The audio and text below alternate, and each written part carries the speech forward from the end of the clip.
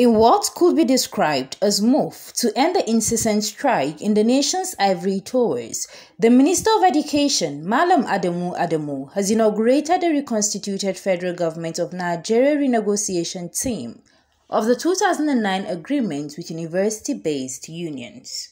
Performing the ceremony at the Federal Ministry of Education headquarters in Abuja, Malam Adamu regretted that the renegotiation of the 2009 agreement between the federal government and the university-based staff unions, which commenced on Monday, 13 February 2017, had to drag till date due to unforeseen circumstances.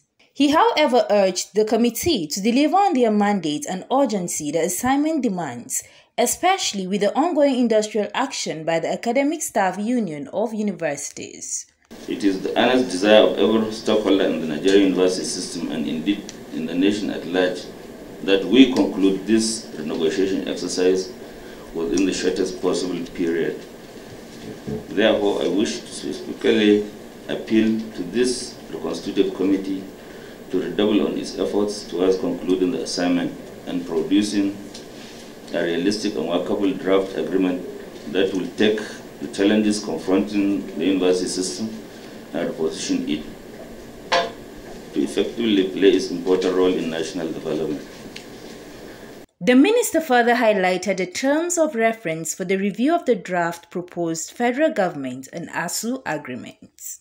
It is to liaise and consult with all relevant stakeholders in order to finalize the position of the federal government on the issues in the draft proposed negotiated agreement.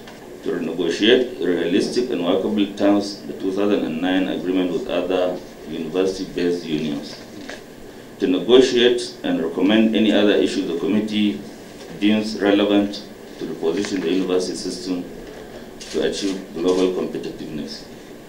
Responding on behalf of the committee, its chairman, Professor Nimi Briggs, assured of their commitment to deliver within the agreed time frame. We are confident that you will be with us, um, particularly in the terms of reference that the Honorable Minister has given to us, which is that we should start from that draft that um, both sides have looked at and come to a position.